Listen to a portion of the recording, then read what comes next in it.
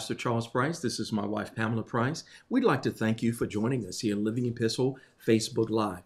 On tonight, we're going to pick up where we left off last time in the book of First Peter. We're going to start at the third chapter, but before we get into the word, we'd like to open up with prayer. So if you will, wherever you are, just bow your heads with us in a word of prayer. Father, in the name of Jesus, as we come before you here and now, we thank you, God, for this time. We thank you, God, for this opportunity to come before these people, God, to share your gospel, your good news. Father, I ask that you would open up our hearts, open up our minds, help us understand and comprehend what you're sharing with us on tonight through your word. And God, we give your name the praise, the glory, and all the honor. In Jesus' name we pray. Thank God. Thank God. Amen. Amen. This is my Bible, This is my Bible. the Holy Word of The God. Holy Word of God. It is my food, my food? water, Water, light, light, strength, strength, and final authority. and final authority. Through it, Through it, I've been redeemed I've been redeemed and reconciled unto God. reconciled unto Now, as I hear the word of God, word of faith God, will come faith will come. through faith. Through faith, Salvation is mine salvation is through faith. Faith, Healing is mine healing is mine. through faith. Through Deliverance is mine deliverance is through faith.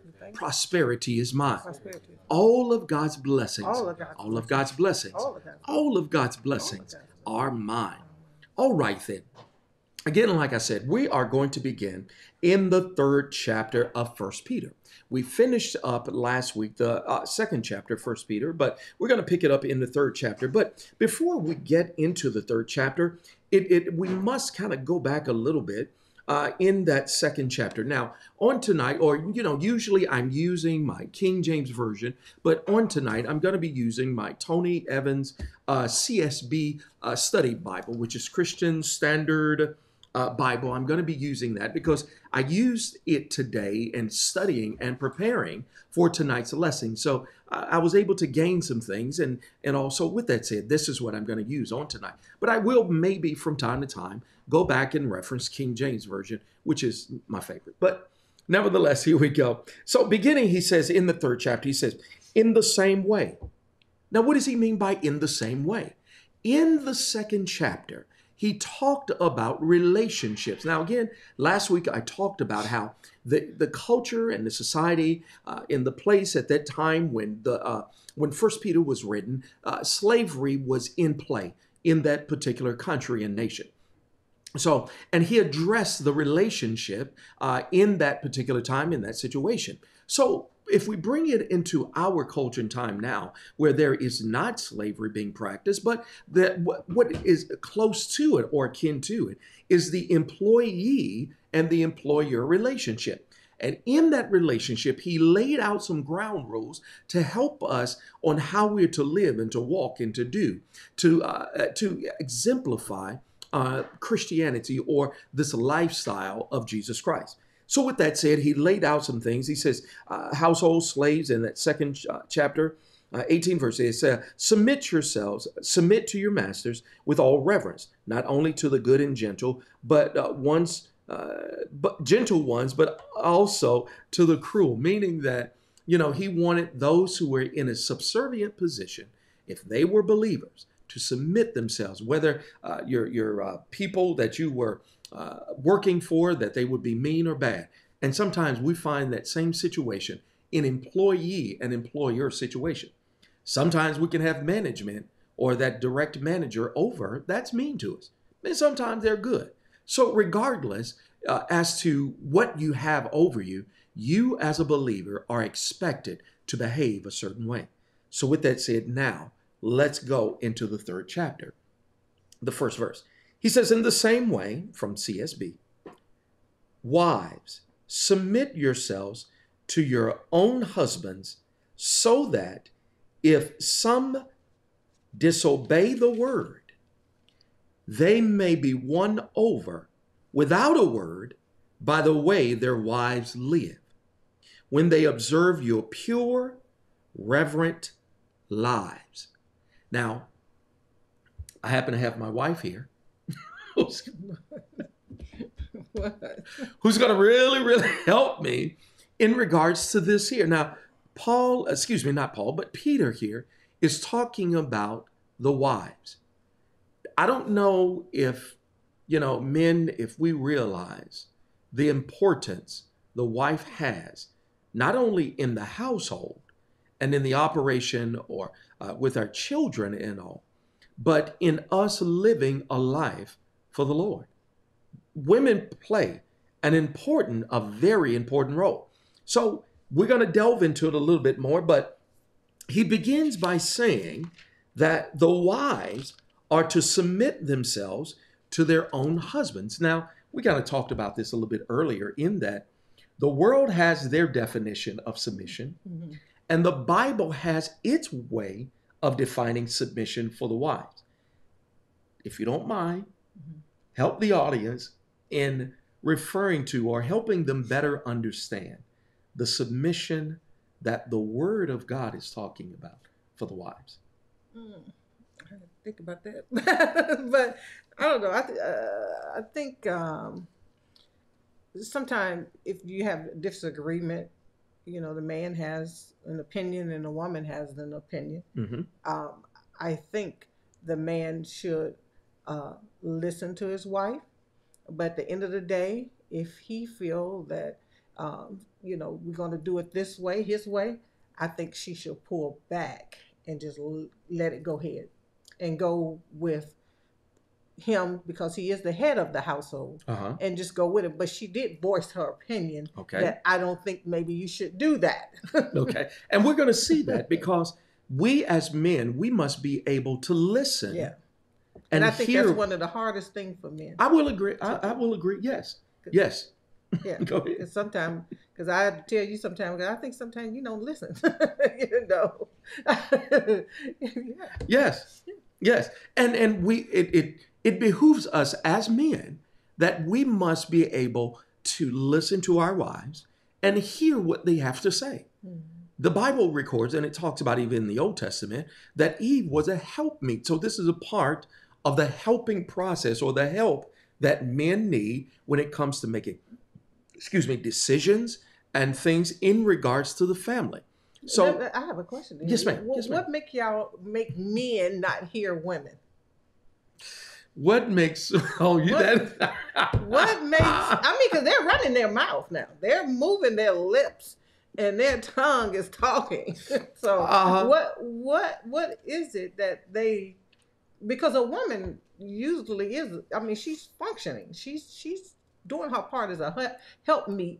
Uh, you know, most women are unless that man has over time silenced her mm-hmm. to the point of you know what? We're just gonna let him bump his head because I'm not gonna say nothing. So the woman, I know I'm gonna get a whole lot of help from women today. I got you, boo. I got y'all. So, so women are talking. Yes. But what makes men not listen? That's the that's the question. Okay. A few things I think. One, it has to do with our upbringing. Um, and you may wonder, well, why? Why? Uh, you know, and you have to understand there are a lot of outside forces that have sometimes helped shape us. Outside forces such as television, what we see on television, what we hear in songs, uh, music, things of that nature. And then sometimes our entire environment, it, that they sometimes play a role in us. Uh, you know, try grooming us in a way in which, you know, it says, well, the, the man, head of the household, okay, we think the head of the household, that's it. That you know that we mm-hmm. are the end of it, the be all and end all and, and all like that. And a lot of times we want to go solo because sometimes that pride thing kicks in. Mm-hmm. Uh, we want to be proud. We want to not uh, listen and think that we can do it all. And really, we can't. Mm-hmm. You know, they say behind every good man is a good woman. Well, I'd like to even go a little bit further. Don't be behind me, be right beside me. yeah. Yeah, seriously. yeah. I mean, well, and, and, beside every good man, there you go. Is a good Now, it, it's it's it's it's hard sometimes for men to come to that conclusion again because of these outside forces that are helping influence us mm-hmm. sometimes. And I will say, um, growing up, it, it even with a child, it takes them a minute before they comprehend that you know what my mama got good sense. I need to be listening to her. Mm-hmm. And I remember coming to a reality uh, with my mother. Now you bump your head several times, yeah. and then when she tell you don't do this, don't do that, and True. then you go, then your mind go, you know what? I better listen to her. She, she's she's been telling me the truth for several times now, and that's the same thing with a relationship. Yes, and, and again, a relationship between a husband and a wife. Mhm. That's why it, it is, you know, we, we grow up together, so to say, and we learn each other. But it, it, you know, I would say that over the years, as time go by, that should be more of the husband's uh, decision making process to hear the opinion of the wife, to help her, you know, feel not only included, but that she is a part of the family. And it's important. Well, and back to your question on uh, why is be subject to your husband, the believer in the kingdom of God, his standard, his way, I would just believe it's not that she needs to just uh, not voice her Mhm. opinion. It's just at the end of the day, uh, let him just go ahead, whatever conclusion he comes to. Okay, we sometimes we just gotta roll with it. You, gotta gotta roll with it, okay? And we should take whatever happens. If we're gonna if we make the decision, like I told you so, no, don't do that. Told you. But if we make the decision, Mhm, that mean and like you said, we gotta roll with it mhm. and everything. So we have to be prepared for whatever comes behind that decision. Yeah. Amen. Yeah. All right, let's go on a little bit more here. He says, in the same way, wives, submit yourselves to your own husbands, so that uh, even if some disobey the word, again, he is referring to and talking about the influence of a godly wife having upon a husband. And it seems as though, as he's talking about here, the husband may not be as committed to the Lord and may not know the Lord as the wife does. But he's saying here, the wife has influence, that it is her, her interactions and the things, how she conduct herself in the household and in the home, how she, uh, you know, does these things that will influence her husband not only to be a better husband, but to be a, a better man when it comes to the things of God. But let's go on here. He says that uh, that they may be won over. Of course, every woman and every, you know, I, I think of it like this. Yes, I serve in the office of pastor, but I must pastor those in my own household first before I can pastor and lead anyone else outside of the, the domain, so to say, in the home of my that I have. Same thing with women. Women must be able, uh, women, wives, must be able to influence their own husbands before they're able to influence others. And I think um, some marriages uh, have failed with some women because they have listened to some of their friends uh, who were ungodly, who gave them ungodly counsel, Mhm. and they listened to them, and they were not able to win their husbands over by maybe just being quiet, Mhm. just, just simply just okay, okay, and, and just still showing love beyond that, beyond that, which is hard to do. Now, in the book of Romans, I think it's 12th chapter, it talks about renewing our minds. Mhm. Let's just say a young lady has grown up in a situation where single parent home, the mother's leading the family. The mother not only goes out and get the bacon, but the mother brings it home and cooks. Mhm. The mother does all of this. And the young lady, when she looks in her family lineage, she looks at her grandmother. The grandmother was a single parent, led a household. She look at her aunts, the same thing. And she will even look in her own community where single women are leading the home. Mhm.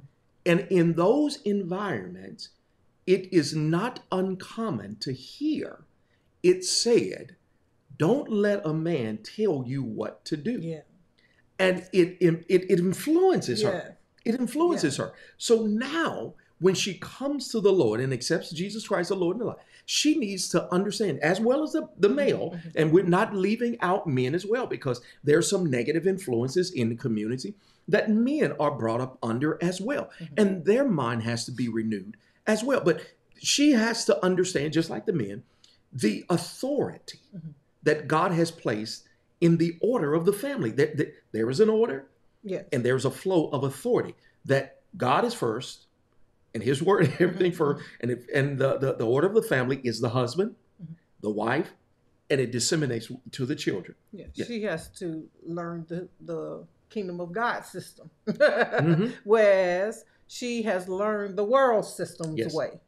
And what's about to happen when that young lady get married and she's seen 15 strong women Uh-huh. in her family.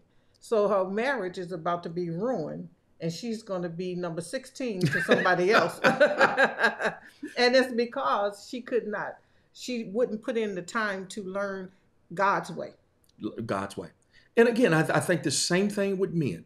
Men, we, we need to understand the way uh, of, of how God has set up the family and the role of authority in the family. And once we get it God's way, Mhm. everything will work out fine. Yeah. She won't be number 16. No, she won't be number 16. And we talking about women right now, but Yeah. I'm sure we're gonna get off into men. Yes, we will. Yes, we will. Men are not exempt. But let's go here. He says, I may be won over without a word by the way their wives live when they observe your pure, reverent lives. Don't let your beauty consist of outward things like elaborate hairstyles. And-? Uh, I am approaching the fourth verse. I'm reading the third of uh, the third chapter. Uh, again, reading out of the CSB version. He says, uh, wearing gold jewelry or fine clothes. He says, but rather what is inside the heart. Mhm. So the, the, the, the real you, your heart, your spirit should be that which is controlling everything else. The way that you act, the way that you talk, your demeanor, and everything. It should be controlled. So again, same thing for men. We're, we're going to get to that. He says, the imperishable, the imperishable quality of a gentle and quiet spirit, which is of great worth in God's sight. Again, a woman who has a quiet spirit, one that is not boisterous, one that is not over the top. Eh, Don't get me wrong, I understand personalities and I understand we all have various and different personalities. But again, when it comes to the family structure, God has ordained that the man lead the family and that the woman, she is uh, next to the man in a supporting role. And ain't nothing wrong with that. Mhm.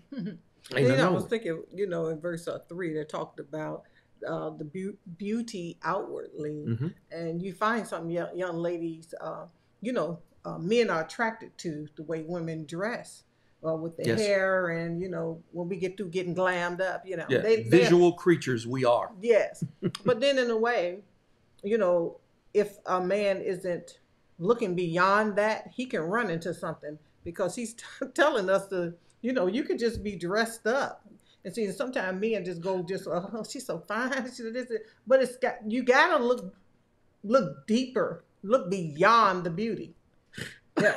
Like, and, I- and we know you want and we know you want the beauty. But like here, you know, you just having the fine jewelry, the hair, and the clothes, and it's together. But you had told me a saying once somebody told you, "Don't believe the fine." That's what I was laughing about. yeah, They said, don't let the fine fool you. because it can fool you. So to the to the men out there or who are looking for wives, you may want to go a little bit beyond that. a little try- bit beyond the hair Yeah. and the face and the teeth and the Yeah, Every- shape. yeah. I mean, they can, and nowadays they can really do their face up and put the eyelashes on and the eyebrows and hair. The wigs are beautiful now, right? And so you can get caught up into all that. But on the inside, mm-hmm. And, and, they can be hideous. and wait a minute, Sister Keisha over here, she's you know she may be a little plain, but you ain't looking at her. but she's the right person. That's awesome. That's awesome. She's she's the right person. And you know what? You we can take her home and help her. oh yes. So what you're saying is that Same thing for me her too. beauty, her inner beauty, right. can be matched outside. it can. Lord. So you let me make sure I get this right. So if they got outer beauty all out here and Mhm. everything, and that's together, but on the inside, that's a harder job. you don't wish you had a paid attention. That's all I'm saying. Woo! Oh, and it's the same thing with the other with men. You know, sometimes we women just going for oh he can't dress. And you know, look at him, look at you, look how he is. You know, what if I did that with you? I would have been single. I would have been single. For the, I did that.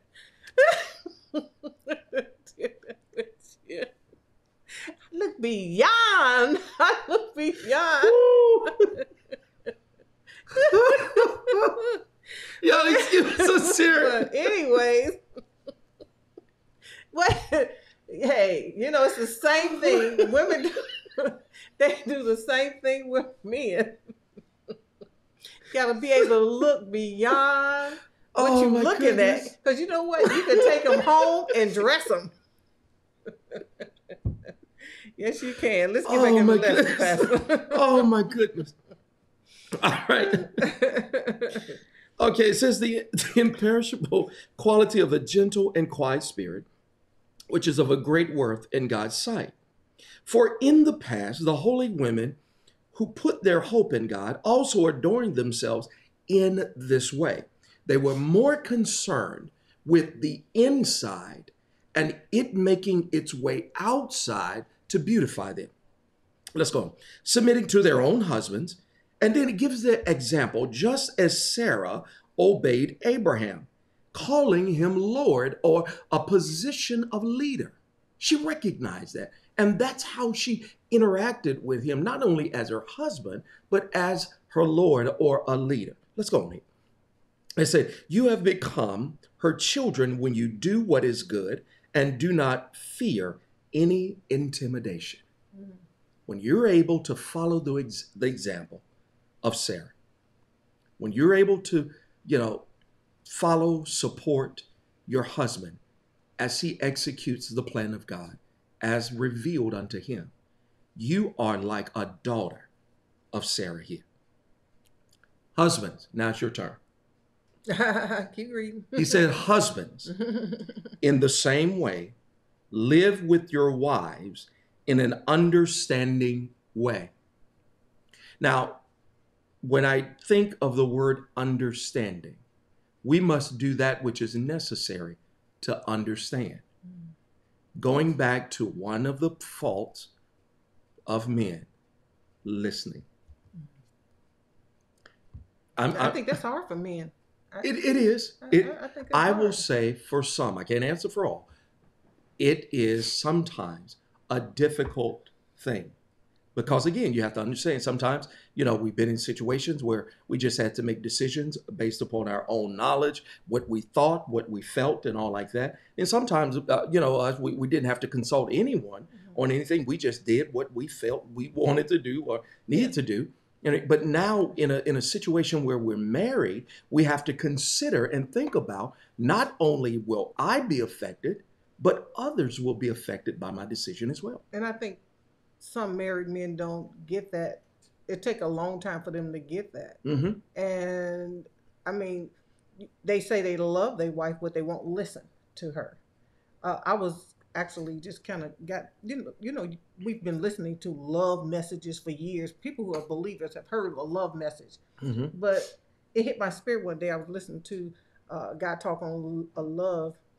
It's we we we really don't have it.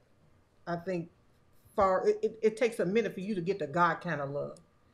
We our love sometimes is lined up with the world's love, and Because a- of those influences those- of the world. Yes, and that's all you have seen. That's right. That's all we've seen, and that's what we've been interacting Mhm. with. But you we got to get to a place where the Holy Ghost teach us love. What what love really is. Get to the place, like you said, and that requires one that is one hunger and thirst after Mhm. righteousness and submit it to God. and submit it to God. Mhm. Because he- Jesus said, Blessed are those who hunger and thirst after righteousness or want to understand my ways even better. He said, I have the responsibility to ensure that you get what you want. And they shall be filled. They shall be filled. So, husbands, in the same way, live with your wives, live with them in respect, live with them in a way in which the, the inner you, the real, the true you, amen, it, it makes its way out in a pleasant way. Now, again, men, I know that it is easier said than done, but it is something that we must do as men, not only for our wives, but because many of us, we have young men that we're training in our own home. And we have young ladies who will be a wife one day as well. So we have to be cognizant of that because we want to set the best example for them. And the best example is to model ourselves after the word. That's uh, that's that goes you know without question. But let's go in here. He says uh, in in an understanding way. He says with a weaker partner, not a, a, a partner that is less than, but weaker. When we talk about weaker physically, yes, my wife is weaker than me physically and it may be other you know mentally or whatever you know all any other areas she just may be. But please know and understand but there can be another area where there, she's sharper than me. Yeah she can be sharper than me. But let's go on. But it all works out and evens out in the wash so to say. He says showing them honor. Honor. Showing them honor as co-heirs of the grace of life so that your prayers will not be hindered. Mm-hmm.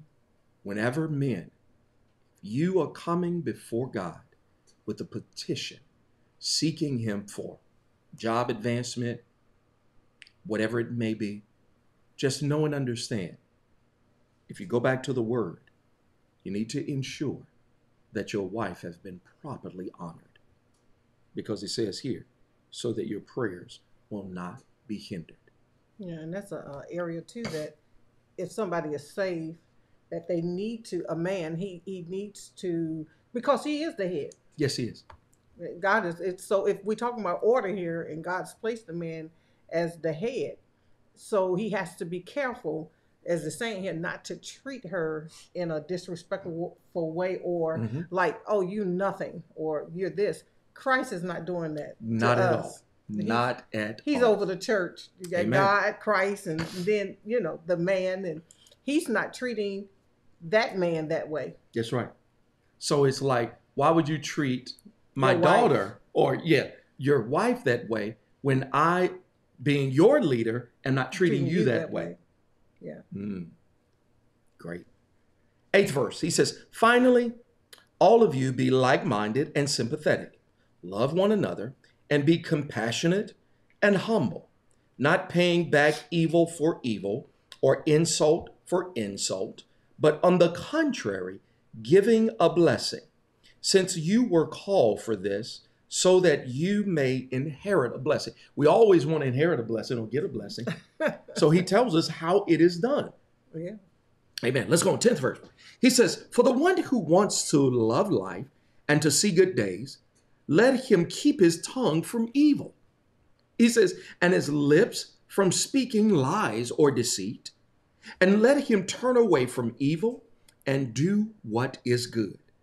Let him seek peace, not only peace with God, but peace with his wife and his household and his family, and then pursue it, go after it, because this is the part because the eyes of the Lord are on the righteous, and his ears are open to whose prayer? Their prayer. The one who is righteous. Mm-hmm.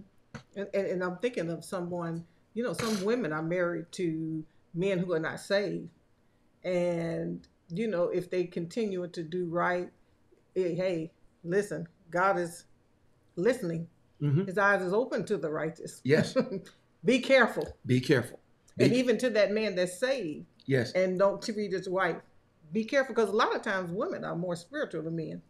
And, and yeah, that and I and in I, many cases, not all the time, but, but in many cases. Yes, in many cases you're you're accurate um, and everything with that. Mm-hmm. But let me finish this up. The 12th verse. He says, um, uh, "Ears are open uh, to their prayer." He says, "But the face of the Lord is against those who do what is evil." Mm-hmm.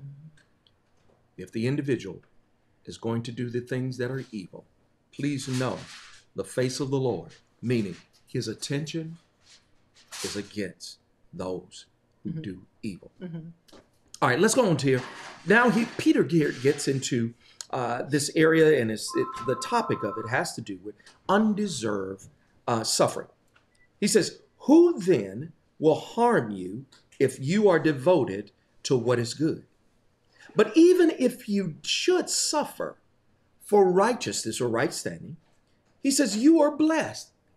Now that seems counterproductive. Yeah, because most people don't. They feel like nothing bad is coming their way if they've been doing if they're doing right. Yes, nobody wants to suffer. But nobody wants to go to jail. Nobody Paul wants. and Peter went to jail. yes, nobody wants to have to deal with something that is uncomfortable. Mhm. Nobody wants to deal with it. But let- let's go in here. Let's go in here. See what he said. He says, "But even if you are, uh, even if you should suffer for righteousness, you are blessed or empowered to prosper." He says, "Do not fear what they fear, or be intimidated, but in your hearts regard Christ the Lord as holy, ready at any time to give a defense to anyone who asks you for a reason for the hope that is in you. I submit unto you the only way in which you are going to be able to give a reason for the hope that is in you. You must have done your due diligence and aforementioned work to get it in here. Mhm. Thy word have I hidden in my heart that I might not sin against thee. That and, and if you if you could imagine our culture and our society getting to a place where we are no longer afforded or have the right to express ourselves as believers in the gospel. If they were to take away our Bibles, if they were to forbid us from going to church, if they were for to, to forbid us, when I say they, the powers, the governmental powers that be, if, if, if, hypothetically speaking, if we, they were to do all of these things, would you be able to yet and still rejoice? Would you yet and still be able to give God glory and honor? I mean, because it, it, it- is a question that must be asked because there are certain parts on this globe, this world of ours, that people are dealing with things just like that now. Mhm. Just like that now. I think us and you know we in the United States, we do have it good, and We we, can't get even comfortable. imagine it. We can't imagine it, and you know what? We do everything we can to prevent it from anything causing suffering to us. And you- you know, we were talking about that Yeah, earlier. yeah, we're talking about it early. In that, Jesus has already spoken and said that just because you name the name of Christ, you can expect some type of suffering. Yeah. Yeah, he said it. Mhm.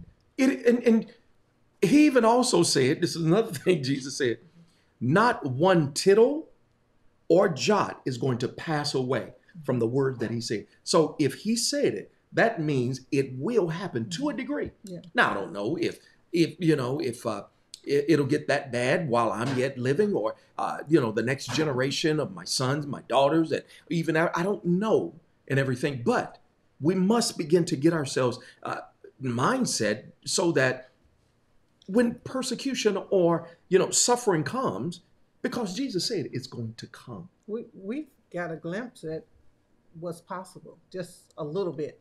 We've gone through something that we've never gone through before.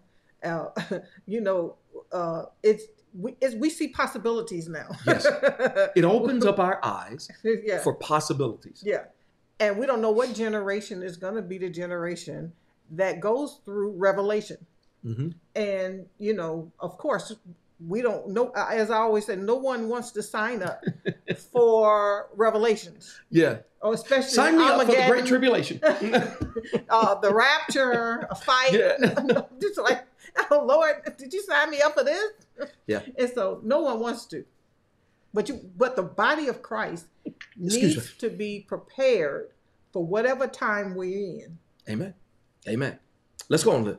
He says here, do not fear what they fear or be intimidated, but in your hearts regard Christ the Lord as holy, ready at any time to give a defense to anyone who asks you for a reason for the hope that is in you.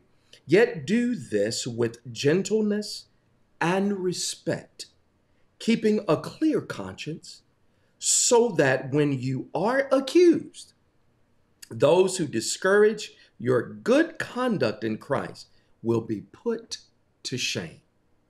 For it is better to suffer for doing good, if that should be God's will than for doing evil. Yeah. If you have to suffer for doing good, if that is God's will for you. Mhm. But let's go on here, 18 verse. For Christ also suffered or put up with some things, I was put in a very uncomfortable position for sins once for all. Jesus Christ was put in a very, very, not only uncomfortable, but painful position for all. Mhm. He paid the penalty, he paid the price for sin for everyone. The stripes on his back, the the the, the spear or the, the that the hole was made within his side. The 72 thorns. Yes, the head. thorns on his head. Yeah. And, All of- and the slaps across Yes, his face. And the ripping of his beard Yeah. away, you know, from his feet. All of these things. you know, when he was in the garden, he could have tried to escape this suffering Yes. because he knew what what was about to come go down. hmm And like with us, you know, believers, we know we we, we can kind of mm-hmm. we can kind of guess what can go down if Yes. if if you know things pop off. We we know, but Jesus went through it. I think that we may have gotten ourselves, the church, the modern day American church, gotten ourselves to a place of comfortableness and we're asleep. Did the prosperity message get us there? I don't know. Did- Did the comfortableness? made it extra comfortable because uh, many there are many people that have repented for their part hmm in that. So I don't know the fullness of that, but did that prosperity message get us to an entitlement Ooh, to make Uh, us feel entitled and that we should not have to suffer. Yeah. Interesting. It says, For Christ also suffered for sins once for all, the righteous for the unrighteous, the innocent for the guilty, the one who knew no sin for those who lived and operated and perpetuated a lifestyle of sin.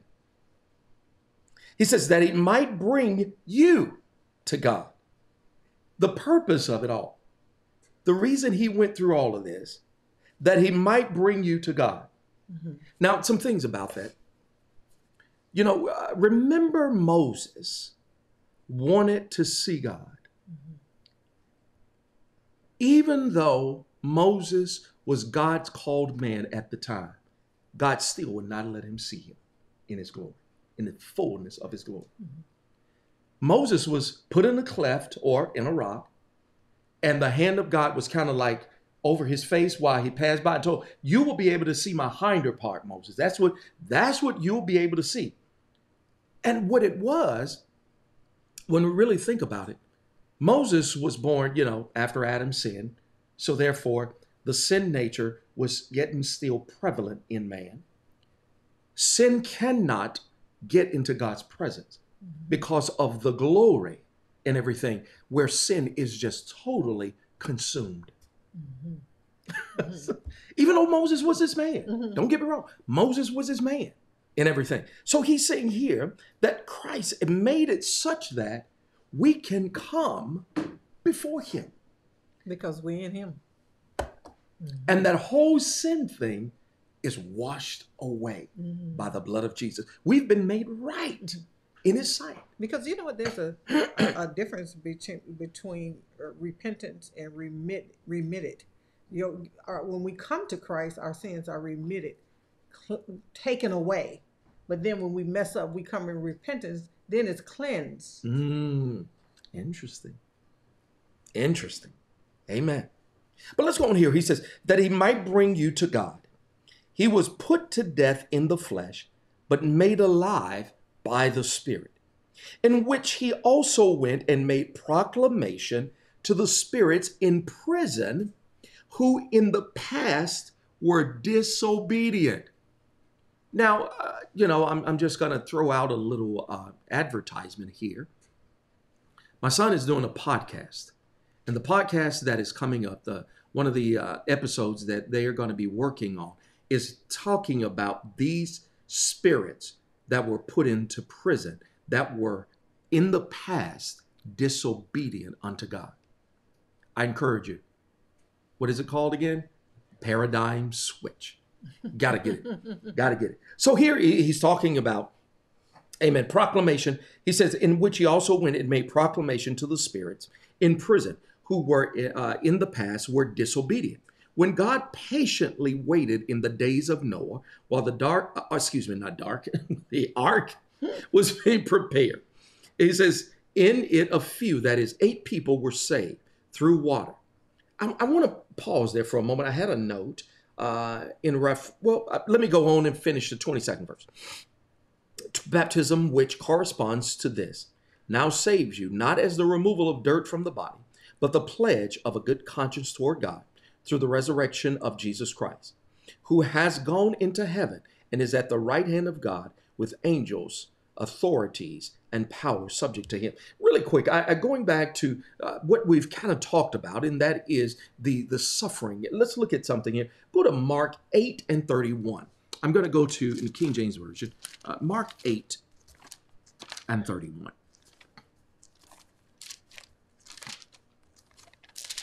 Eight and thirty one. Yes, Mark eight and thirty one. And he began to teach them that the Son must suffer many things and be rejected of the elders and of the chief priests and scribes and be killed and after three days rise again. I, I mean, I want to read that again. Here it is talking about his suffering. And he began to teach them, prepare his disciples, get them ready. He says that the Son of Man must suffer, put up with, go through many things, and be rejected of the elders. No one likes rejection. Mm-hmm. and he was going to be rejected, rejected by the religious system or those who were leaders in the uh, uh, the, the Jewish synagogue, those elders, they rejected him. The Bible even talked about, I think it was last week we even talked about, talking about uh, the chief uh, cornerstone or the stone that was rejected by the builders. They rejected him and he became the chief cornerstone. Mm-hmm. He says, uh, mis- uh, rejected of the elders and of the chief priests and the scribes. So we're talking various and different groups and echelons of leadership that was there. He says, and be killed and after three days rise again. And he spake the, and he spake that saying openly. And Peter took him and began to rebuke him. But when he had turned about and looked on his disciples, he rebuked Peter, saying, Get thee behind me, Satan, for thou savorest not the things that be of God, but the things that be of men. Peter at that time did not understand. Mm-hmm. Peter didn't understand. It is my personal feelings that Peter was enjoying not only the relationship, but the fellowship and enjoy seeing all the great things that Jesus had done, and probably in his mind, more to come. Mm-hmm. and now he's Jesus is talking about leaving us, he's talking about death, that's you know he just began to focus on those things. And peter put no man we cannot have this. We can't let this go on. We no. And the great thing about jesus had to stay focused then had to stay focused. to stay focused. If he wanted to be popular among men he would have let peter do what peter wanted to do. And no doubt peter would have been ready to raise an army to defend christ so that he would not have gone through the very things that he mentioned he would have gone through. Jesus would have been changing the course of what he was supposed to do. he, he, could not change it because God had already spoken mm-hmm, of what he wanted, what he wanted, and what he was going to do. But let's go on here uh, a little bit more. Um, so we finished up now the third chapter, and we are about to go. We're getting ready to go into the fourth chapter. He says, therefore, since Christ suffered in the flesh, arm yourselves also with the same understanding. Get your perspective and get your attitude and your mindset in alignment with what has been said. And know that as a believer, you just may have to put up with some suffering and some persecution. Get yourself ready. Get yourself mentally prepared. You know, just like these guys who are, you know, preparing for this NFL playoff game that is coming up this weekend. It is right now, and even before that, this day rather, that they have been getting themselves mentally prepared for the game that is coming up on the weekend. And this is what he's referring to and talking about that as believers, get your attitude and your mindset together that you just may have to do some suffering down, down the line. Yeah. You just may have to You do may- it. Yeah. It's amazing, isn't it? Yeah, you're, you're not going to be able to run from it, stick your head in the ground, and, and in the sand, rather, because, you know, when you do that, you uh, give the enemy a, a very enticing target. Yeah. 'Cause I, I think last week we even talked about being pilgrims. Travelers. And, yeah. You have to get that mindset. What is your what is your mission? You know. hmm Getting it, yeah. Pilgrims traveling, everyone has that mission. But let's go on here. He says, Therefore, since Christ suffered in the flesh, arm yourselves also with the same understanding, because the one who suffers in the flesh is finished with sin. Talking about Jesus, he, he suffered in his flesh with sin. In order to live the remaining time in the flesh, no longer for human desire, but for God's will. For there has already been enough time spent in doing what the Gentiles choose to do, carrying on in unrestrained behavior, evil desires, drunkenness, orgies, carousing, and lawlessness idolatry, that are surprised that you don't join them in the same flood of wild living. and they slander you. Again, we, it, it, is, it is incumbent upon us as believers to really understand what he's saying here. A few things. One, there is a difference between the righteous and the unrighteous. You might as well get that in your mind. Get it in your mind. The two cannot mix. Yeah. And there is no emulsion agent for sin. Mhm. You know, uh, remember we kind of talked we talked about this in an earlier session or another time. I think it might have been in the marriage session uh, where I talked to the young couple about oil and water that they don't mix, but egg is an emulsion or it is an agent that is capable of bringing both together Mhm.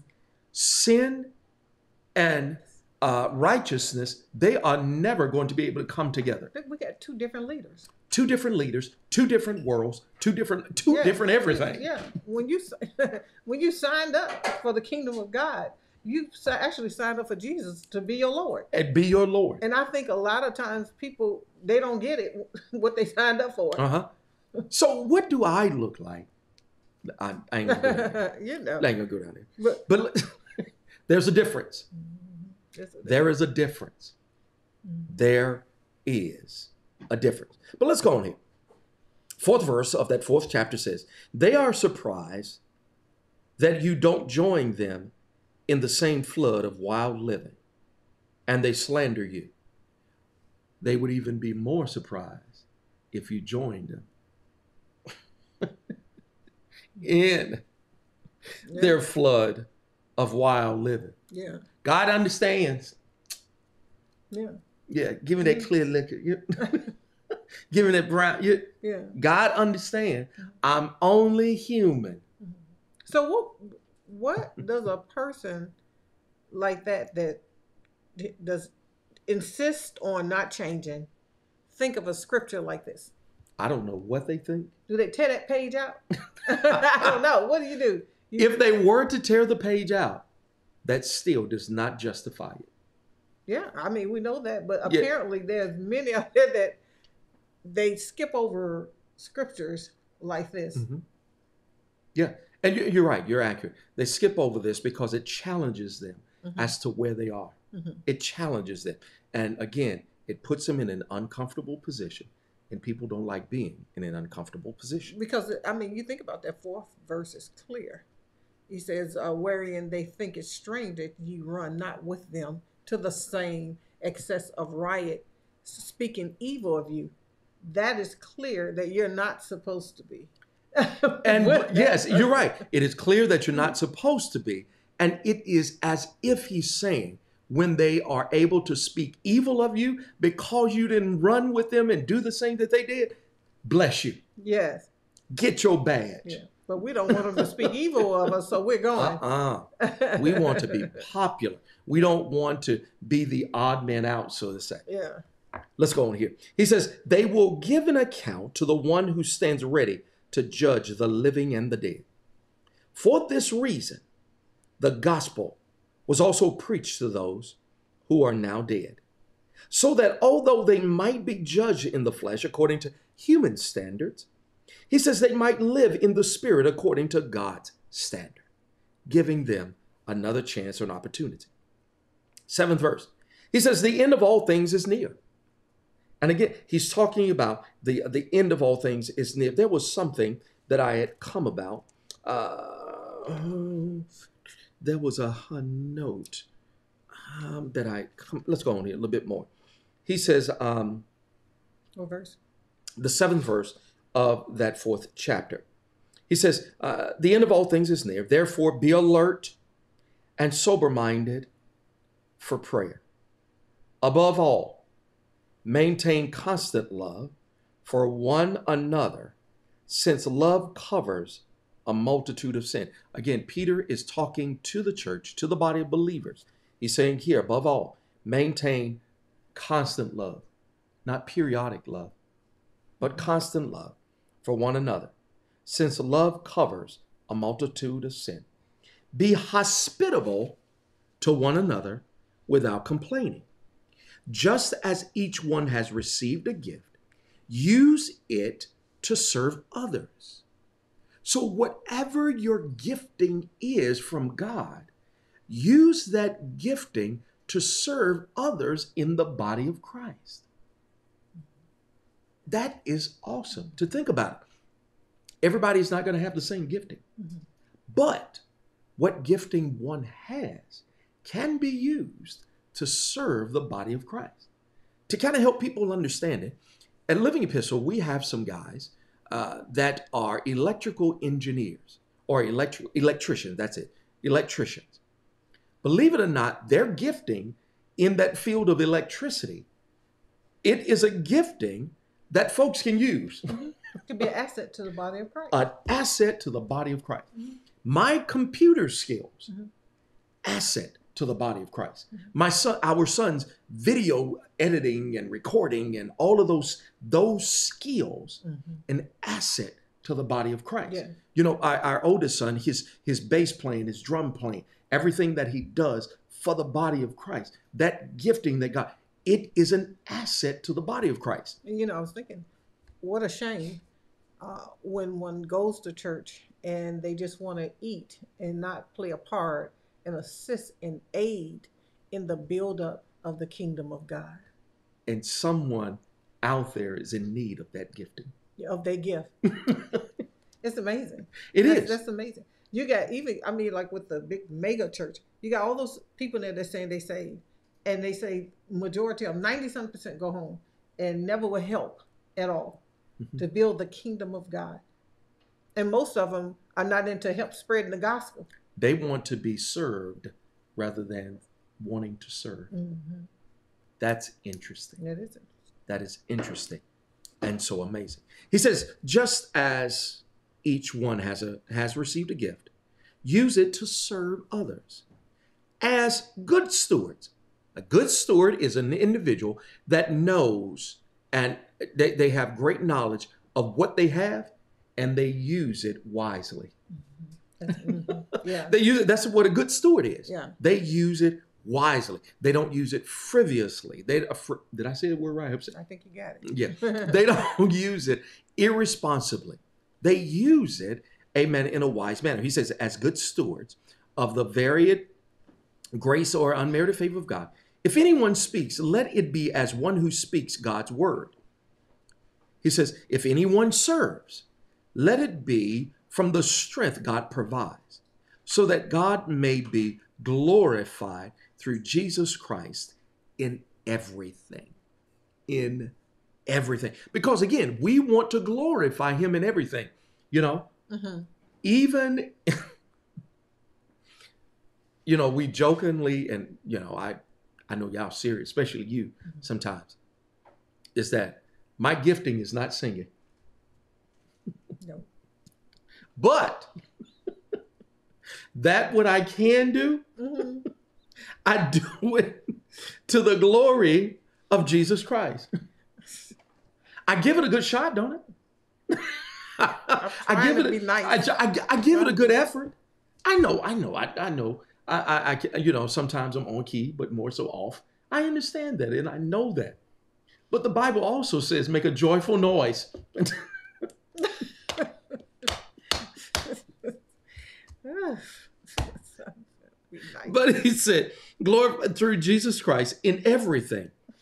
He says, to him be glory and the power forever. Amen. I tell you what, we're going to go ahead and hold it right here. We're going to put a marker right here, and we're going to come back next week, amen, and begin here in this fourth chapter at the 12th verse. I just want to take this time to thank you for allowing us to come into your homes and places where you are and share with you the gospel of Jesus Christ through our Living Epistle Live uh, Bible study every Wednesday night. It's only for one hour, 7:30 to 8:30. Amen. We want to extend a warm uh, welcome to you to come back again and join us for our Sunday morning worship, which takes place at 11 a.m. here at Living Epistle Facebook Live as well. Amen. If you want to support Living Epistle, we would gladly, amen, accept any gift uh, that you would like to help us and support us here. Amen. And he should be flashing something across the screen to let you know the platforms that you can support us. And ask that whichever one that you choose to support us with, make sure that you uh, see the Living Epistle logo, which is there to, amen, ensure that you are at the right place.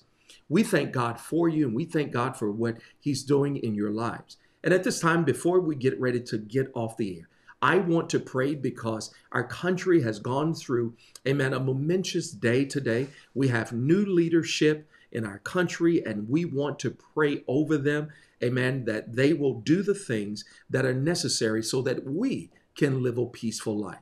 So I'm going to close this session with a word of prayer, not only, amen, for us, but also, amen, for the nation. Father, in the name of Jesus, we thank you, God, for this day and this time that you have blessed us to see and to be here. God, at this time, I intercede for the leaders that we have in this great nation of ours. You see the responsibility, you see the individuals, you see their hearts, and you know what they are up against. And Father, I pray for them that you would lead them, that you would guide them, and that you would help them make the right decisions so that we all can live a peaceable life here. Father, I love this country. I love this great nation of ours. And God, I intercede for the leadership, God, in our governmental system that we have. And Father, I bless you and I thank you for it all. And I ask this prayer in Jesus' mighty name. Thank God. Thank God. Amen. Amen. And until next time, God bless you.